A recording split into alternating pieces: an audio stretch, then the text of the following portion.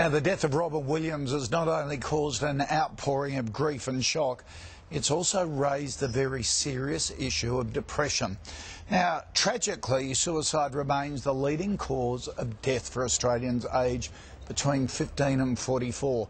And for those left behind, there are always unanswered questions. What could I have done? How could I have helped?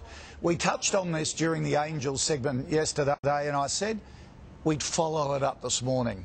And to help us and help others, I'm joined by the chairman of Lifeline, John Brogden. John, good morning to you. G'day, David. There seems to be a lot of misunderstanding about depression and suicide. What are the biggest misconceptions that we have? Because I often say, unless you've been exposed to it, you've got no idea. Without a doubt, the biggest mis misconception is that you shouldn't talk about it. We've sort of grown up with a great shame associated with suicide. People would in the past actually fabricate reasons why somebody died. They'd had a heart attack rather than taking their own life because there was such shame. Yep. What all of the research shows today is you're better to talk about it than to not talk about it.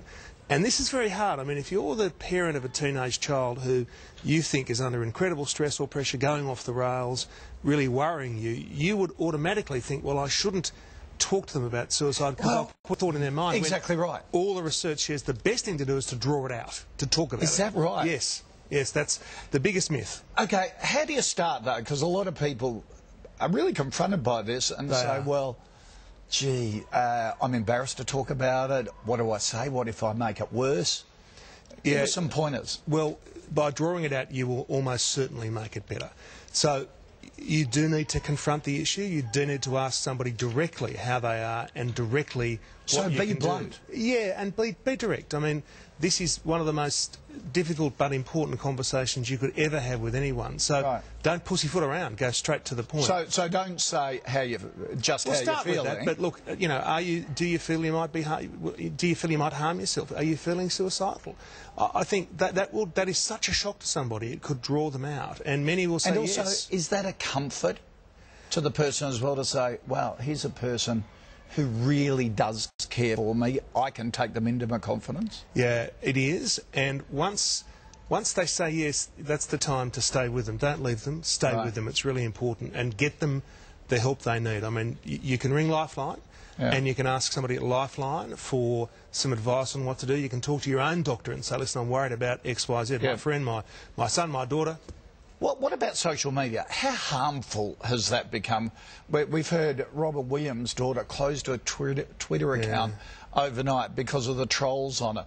Is this adding another powerful level?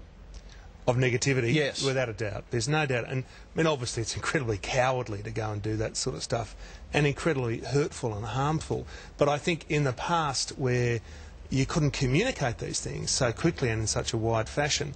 So what we're seeing is young people certainly are being uh, bullied, being Yeah. victimised, being hurt by social media in a way they haven't seen before. Okay. We always put up Lifeline's contact details when, whenever we cover stories like this. Do you have enough support? How busy are you? Are people taking advantage of the facilities that you offer? Yeah, well, they, certainly are. This year we'll answer 860,000 telephone calls. We reckon, yes, 860,000. correct. 30% of Blimey. whom are suicidal.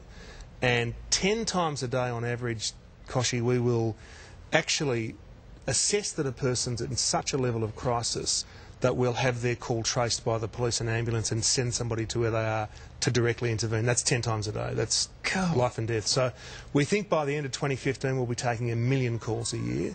With Robin Williams' death on Tuesday, we had a 25% increase in our calls and the same again yesterday. Do you have enough funding?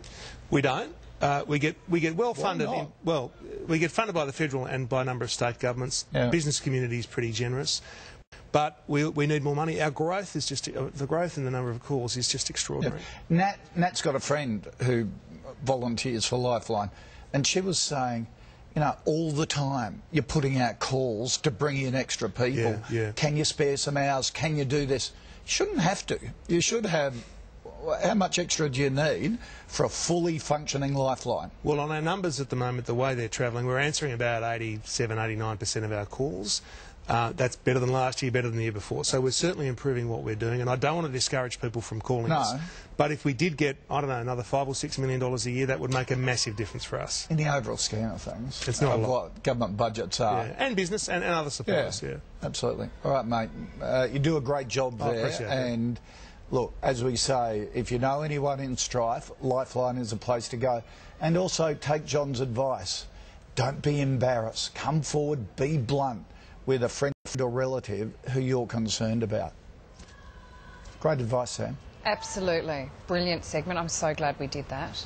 I'm sure that's going to reach a lot of people. Nice work.